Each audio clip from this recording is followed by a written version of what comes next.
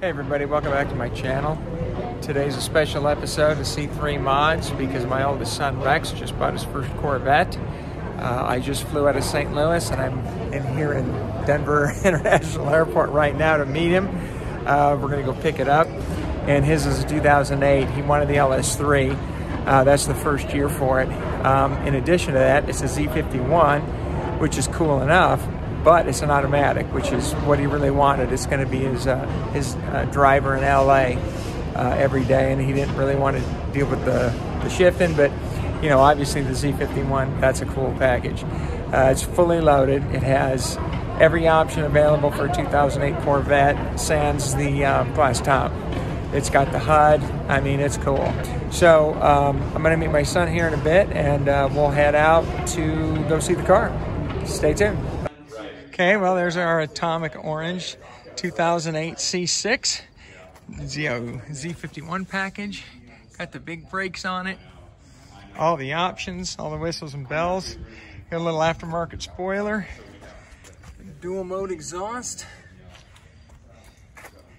Pretty sick. Just about getting ready to head out here. And we'll get some road video in. Well, we're on the road. This is my son Rex. Uh, he's the proud owner of his 2008 Atomic Orange C6 Corvette.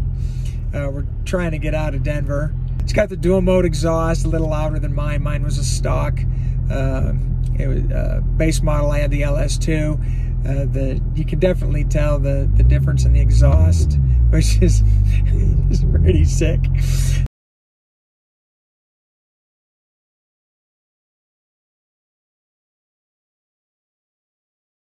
Okay, well, we're on the road. This is my son Rex, uh, driving his first Corvette, uh, his 2008 Atomic Orange Corvette.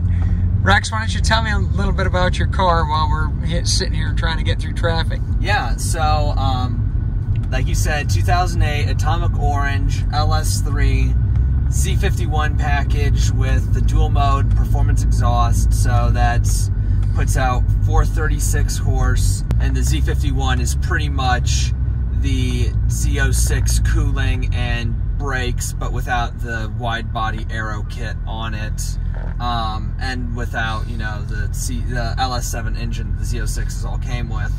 Um, it's uh, such a beautiful, clean car, uh, automatic because I live in Los Angeles, and I've been looking to get sports car for a while. I got a 2012 custom Wrangler Unlimited, lifted, four door. The thing's a massive beast. It is built for in town hauling and trails.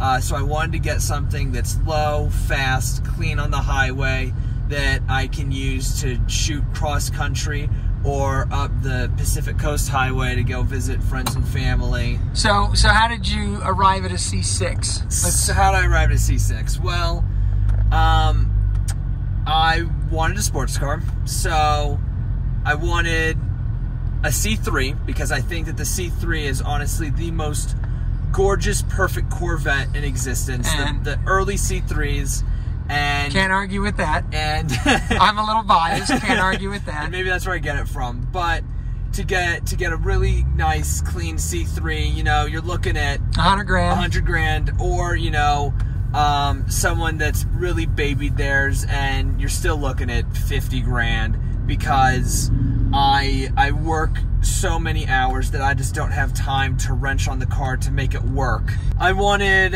I wanted I wanted something that you know was a little more bulletproof that could really take the beating and for the age and I was gonna get a C4 it's you know quintessential 80s car. I love it. I wanted digital dash um, which you know those are for the most part garbage. They never work.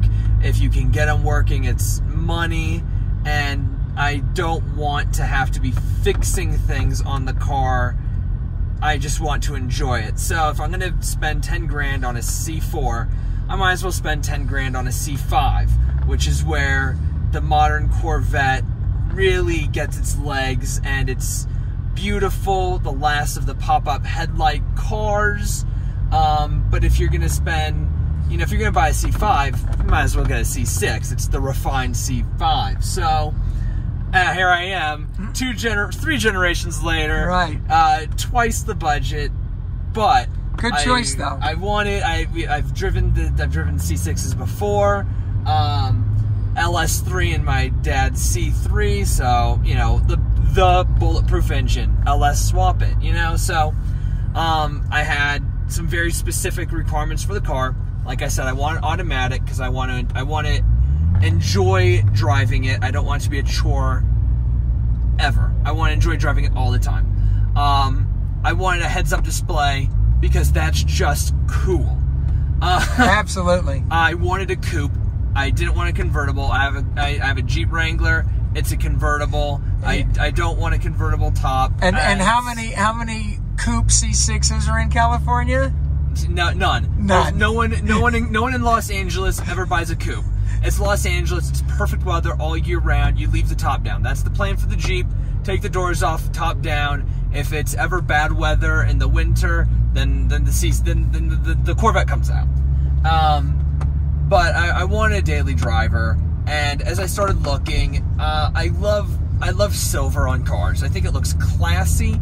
I wanted a silver Corvette to match my silver Jeep.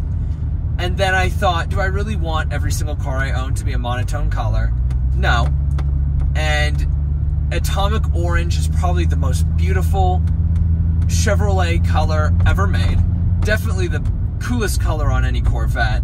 So now we got automatic, we got coupe, we got heads up display, we got atomic orange. I want 3LT because I want to be comfortable. So now we're looking at what? One of 30 cars made Yeah. with my It, requirements. it's pretty much a unicorn with with all of with the all of the package. Sure. So looked for, you know, I've been looking at cars for a year and a half, going back between V8 Vantages, um, GTX Roadrunners, because that's those are, I mean, that's one of the coolest Mopar cars of all time. Um, but I always kept coming back to the Corvette, and must be in your blood. it must be.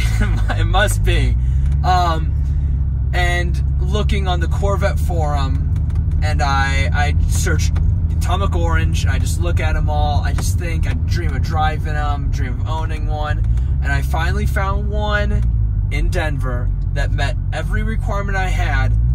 Plus, it's the Z51 performance package. Plus, it's got Yeah, that wasn't even really on the table when you were looking, was it? No, not at all. Um, the Z51 package, it's really nice. It's it's bigger brakes. It's extra cooling. Uh, it's got it's got different shocks. Um, because it doesn't have the it doesn't have magnetic ride as an option. If you have the Z51, you can't get the magnetic ride. So it's got it's got more sporty shocks, and it wasn't even it, it wasn't a requirement. It, it was actually honestly a bonus. Same with the dual mode exhaust. Honestly, I had I had always planned on putting the car up on a lift, ripping the exhaust out, and throwing up some Corsa or Borla uh, race exhaust on there to get that punch. But with the dual mode exhaust, it's vacuum operated, um, opens and closed baffles on two of the two of the pipes.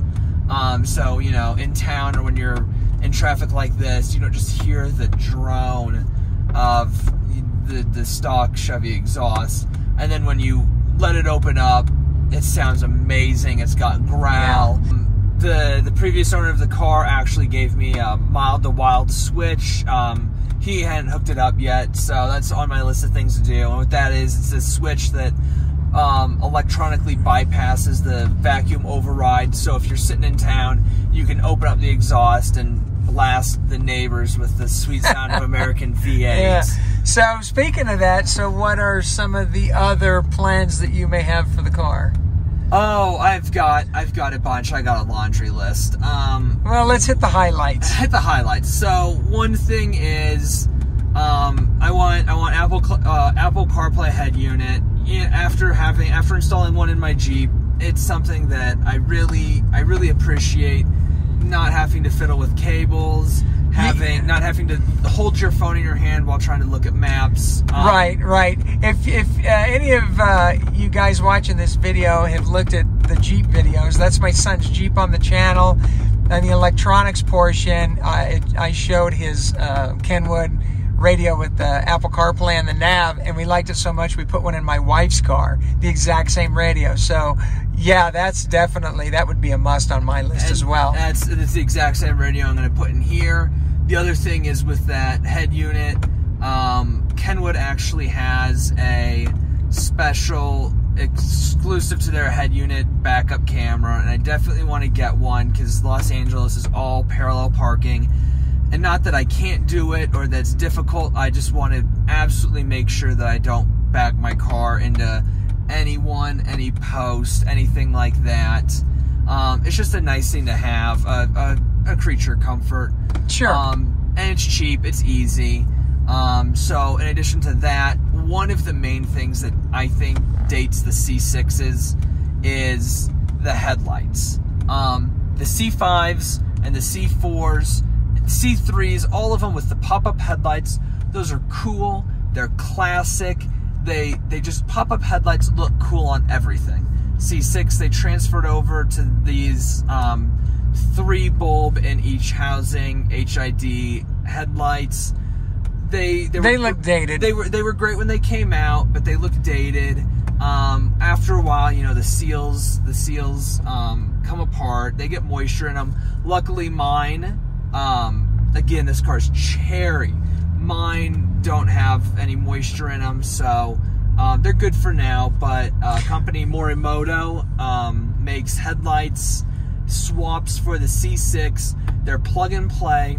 They got daylight running lights, and they look like what? and they they're pretty much a reproduction of the C7 headlights. yeah, that'll be cool. Um, they got daylight running lights, which when you flip on the exhaust have sequential turn signals.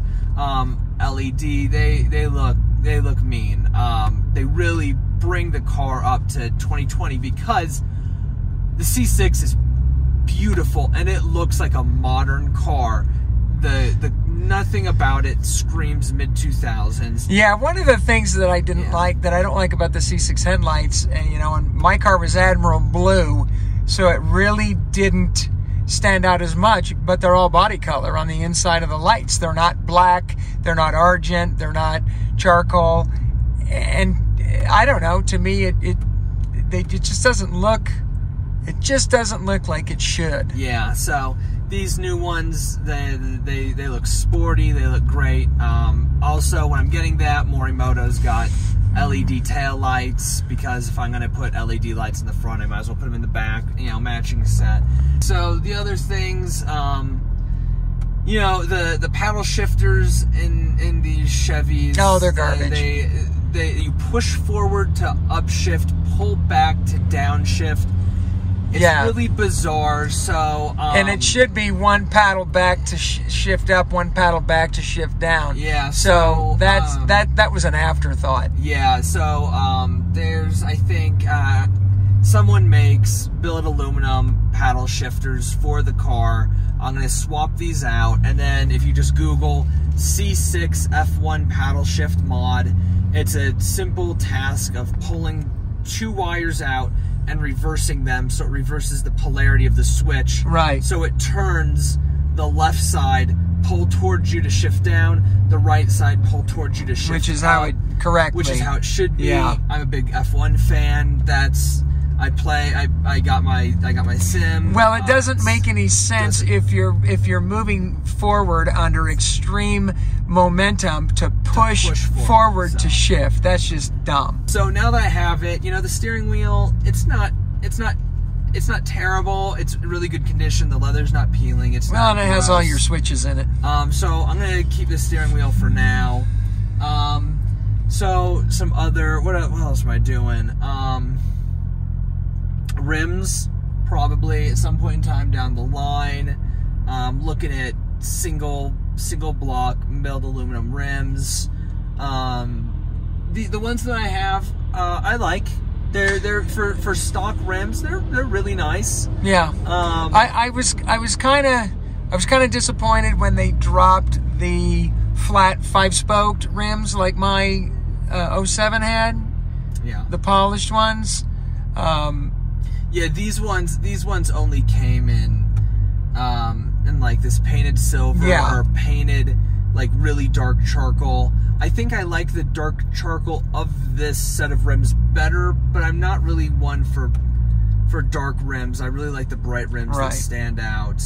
Um, you know, I'm gonna the the brakes. The brakes are fairly new, so when those when those go, since it's got the Z uh, Z51 package, I got big rotors and big calipers. I'll get carbon ceramic pads from the from the Z06 and put them on. Um, but yeah, I mean, you know, now now that I'm sitting in the car, um, yeah, I'm really happy with it. I really am truly happy with it. The interior, a lot of people rag on the interior of the the fifth and sixth generation of Corvette as being cheap Chevy, which I'm not going to say it's not, but I do think it gets a little bit more hate than it really deserves. I mean, this Oh, has got 100%, factory- 100%. Factory, you know, I'm I'm sure it's not actual carbon fiber, but you know, it's not cheap plastic. It doesn't squeak when you push on it. Right. So, you know, for for a, for a Chevy, eh, It's, it's a lot of car for the money. I mean, when what- even when it was brand new. for what I got, for what I got, I got an amazing deal. Yeah. When someone bought this car brand new, they got an amazing deal. Yeah, and while, while I'm thinking about it, I want to give a shout out to the previous owner, Tyler. Um, you know, Rex and I grabbed one way tickets to come out here and get this car, and he pulled it out to clean it up and found out it was leaking trans fluid.